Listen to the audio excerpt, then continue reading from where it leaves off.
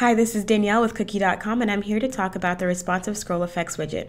This widget utilizes the same concepts of Muse's scroll effects features without the limits of a fixed width page, so it's a powerful tool with familiar techniques for Muse users. Now you can apply beautiful effects to your responsive content on fluid width pages.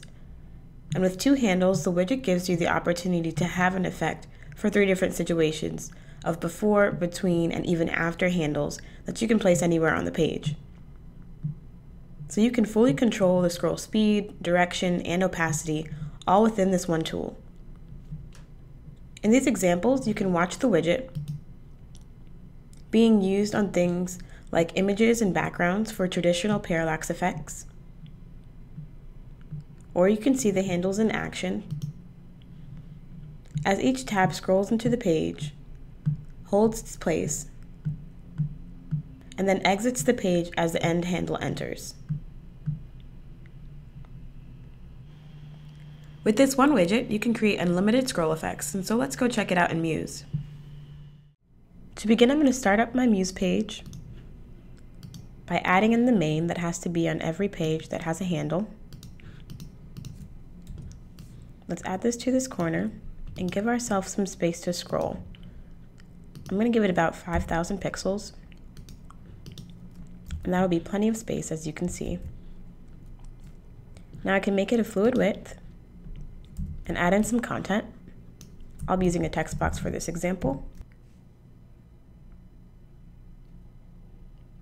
So now I have my content and it's ready to go. I can go to my library panel and add in my handles. When adding in your handles, make sure to have enough space in between them so that they don't appear on the browser at the same time. For this example, I'm going to be adding in some markers on the page so that we can see when the handles enter and exit the page. Perfect. Now let's name them. So go to Hyperlinks Tooltip and give it a simple name without any special characters or any spaces. It's also case sensitive. And now I'm going to add that same name onto the widgets.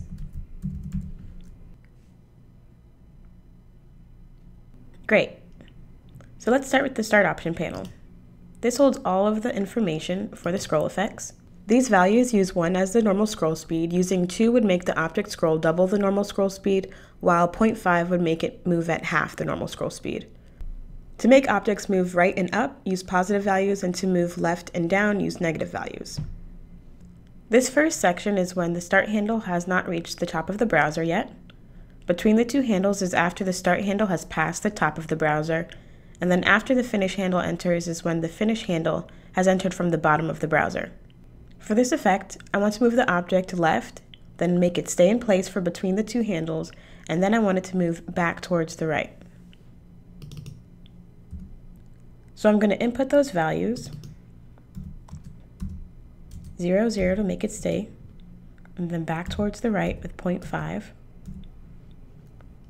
Now if I check the opacity box, the default values make it go from 0% opacity to 100% opacity and then back to 0% opacity over a 200 pixel transition gap. That transition gap is before and after the finish handle, and it ensures a smooth transition, depending on this value. The layer order can override a page's layering and is especially helpful when you're using a scroll effect for items like menus and navigations, but otherwise, normal will do fine for the layer order. And now we can go ahead and preview. As I scroll down the page, you don't see anything because the object's at 0% opacity. Then the start handle enters the page, and after 200 pixels reach between the top of the browser and the start handle, it moves from 0% opacity to 100% opacity after the start handle reaches the top of the browser.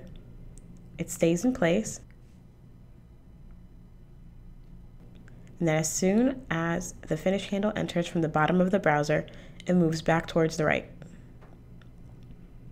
After 200 pixels after the finish handle, it gets to 0% opacity. So that was the basic overview of the scroll effects widget. Tune into the extended video for more details on controlling your page's scroll effects, and make sure to check out the documentation for any other information you may need about this widget. This is Danielle with QooQee.com, and thanks for watching.